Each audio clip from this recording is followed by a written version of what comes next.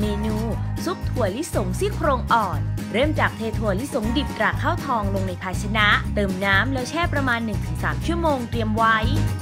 ใส่รากผักชี กระเทียม พริกไทยดำเม็ด เกลือเสริมไอโอดีน ซี่โครงหมูอ่อน เห็ดหอมแห้งแช่น้ำถั่วลิสงดิบตราข้าวทองที่แช่น้ำไว้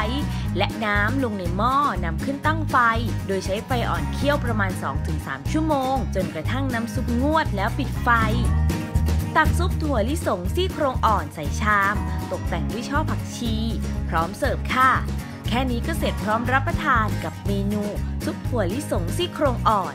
ครั้งหน้าผลิตภัณฑ์ตราข้าวทองจะมีเมนูใดมาฝากคุณผู้ชม ก็ต้องรอติดตามกันนะคะสำหรับวันนี้สวัสดีค่ะ